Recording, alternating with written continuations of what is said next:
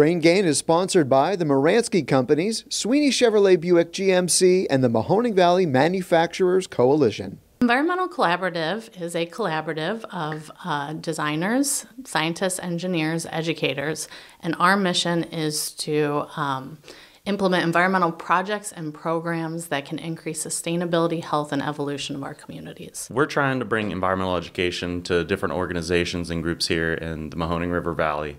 Uh, right now, we're working with Boardman Schools, and we're just trying to implement some hands-on science programs that get kids involved in being outside and observing their local local community, and uh, have, having a good time while they do it. So we're trying to take this holistic approach at a, at addressing projects and programs.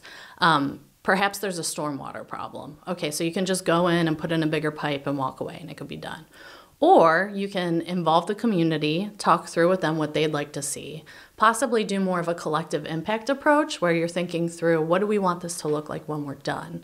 Um, and then coming up with a solution together, right? And possibly even getting uh, local kids involved or um, different community groups so that they can see the design process, be part of it, and understand what's going on in their communities. Kids tend to find things outside a bit more interesting. Their attention can be drawn a lot more to different things while they're walking around, observing different things. So, one of the common things I do with kids is we take them out into the creek and we turn over rocks, of course, look for crayfish, but we're also looking for small bugs and macroinvertebrates. And, you know, if there's one thing a kid loves to do, they love to find something, they love to discover something, and they love to show something to you. So, uh, the programs we do get the kids involved and hands on. So think what a scientist does, but low scale. You know, turn over a rock. What do you discover? Observe it, draw it, describe it, share it with someone else, group them together. How many of each of them do you have?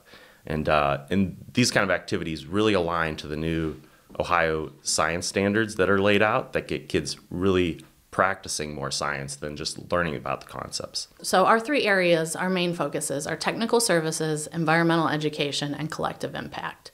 So, a lot of the work I do are with municipalities locally, working with the city of Warren, Boardman Park, um, and I do some work in Seattle as well and other places that I've lived and have relationships with. Um, but then we also do environmental education. Right now, we're working with Boardman schools. There's a couple other schools that are interested in implementing the programs, but we're looking for some funding. But right now, with Boardman schools, we're anticipating uh, we were approved last week for a grant to get a, get the program off the ground. And so we'll start planning the next couple months with the teachers. We're also uh, this fall working with the United Way doing some after school science enrichment programs. So we'll be going in every other week to about three locations and offering science programming uh, that relates to gardening and then just general kind of environmental science concepts as well. And then we do collective impact. So that's more of like a program management where we could come in and help uh, different nonprofit organizations or municipalities, even maybe bring in some private, bring everyone together to solve a problem. So those are kind of our three focus areas, and we can do those individually but then what we're also trying to talk about is how can we do all of that together to bring that shared prosperity to our neighborhood and to use the limited resources we have to do the most good that we can. Brain Gain is sponsored by the Moransky Companies, Sweeney Chevrolet Buick GMC, and the Mahoning Valley Manufacturers Coalition.